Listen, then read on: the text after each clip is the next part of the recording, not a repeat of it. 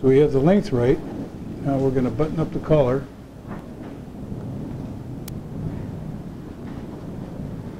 And tie the Windsor knot. The Windsor knot is a symmetrical knot. It's a V.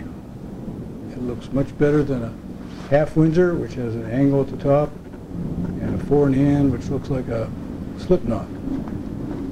The difficult, ti- difficult knot to tie for most people.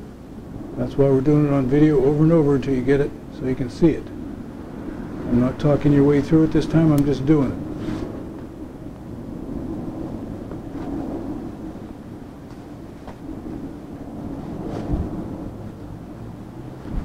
Now pull it up.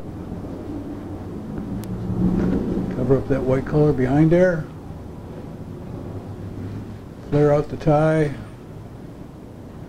Button the snap. Button the tab. So the tab makes it stand up. Stand up and stand out. There, that's a nice Windsor knot. We want a little flare like that.